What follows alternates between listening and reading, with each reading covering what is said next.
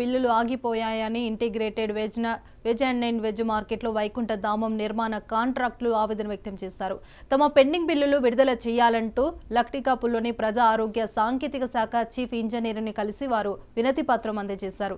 రెండు వేల ఇరవై ఒకటిలో సమీకృత మార్కెట్లు వైకుంఠ ధామంల నిర్మాణం కోసం టెండర్లు వేసినట్లు కాంట్రాక్టర్లు రవీందర్రావు భూషికేశ్వరరావులు తెలిపారు. ఇక బ్యాంకుల నుండి లోన్స్ తీసుకుని సుమారు ఎనభై శాతం వరకు పనులు పూర్తి చేశామని వివరించారు.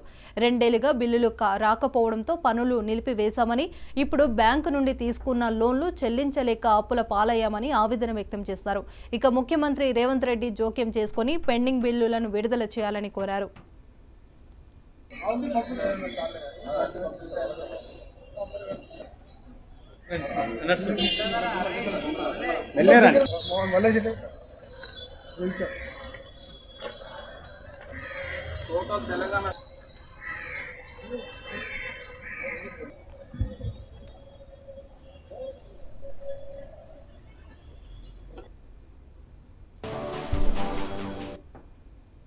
ఇక్కడ తెలంగాణ రాష్ట్రంలో అన్ని జిల్లాలో అన్ని మున్సిపాలిటీలో వర్క్ చేసిన కాంట్రాక్టర్లు అందరూ ఉన్నారు.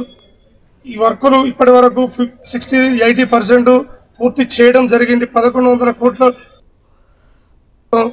ఇప్పుడు మేము వర్కులు చేసిన వరకు మాకు రెండు వందల యాభై కోట్ల వరకు బాకీలు ప్రభుత్వం ఉంది. కానీ ఇప్పటి వరకు ఎవరు కానీ పట్టించుకునే నాదుడు లేడు మాకు. సీఎం రేవంత్ రెడ్డి గారు అవకాశం దొరుకుతలేదు. ఇప్పుడు ప్రస్తుతానికి ఉన్న మంత్రులు కానీ ముఖ్యమంత్రి గారు కానీ మా బాధలు అర్థం చేసుకొని దయచేసి మా పేమెంట్లు ఇప్పించి వర్కులు పూర్తి చేసుకొని అవ- అన్ని ఓపెనింగ్ చేసుకొని దయచేసి మమ్మల్ని అందరినీ కాపాడగలరని ముఖ్యమంత్రి గారిని ప్రభుత్వం కోరుకుంటున్నాం. మా బాకీలు చెల్లించకపోతే మేము రోడ్డు మీద పడే పరిస్థితి ఉన్నది. మా పిల్లల పోరాళ్ళను రోడ్ల మీదకి తీసుకురావాల్సి వస్తుంది. మేము పిల్లల పుస్తకాలు కులబెట్టుకొని మరీ వర్కులు చేయడం జరిగినది. ఈ మా పేమెంట్లు తొందరగా ఇప్పించి మీరు పుణ్యం కట్టుకోండి ముఖ్యమంత్రి గారు. ప్రభుత్వ గత ఈ ప్రభుత్వం అందరికీ దయచేసి చేతులు జోడించి విన్నపించుకుంటున్నాం. మీరు మా పేమెంట్ ఇవ్వకపోతే మేము ఉరిపెట్టుకొని చచ్చుడు తప్ప మాకు వేరే గత్యంతరం లేదని ప్రభుత్వం అందరికీ ప్రభుత్వ అధికారులకు కానీ మంత్రులకు కానీ మేము కోరుకుంటున్నాం.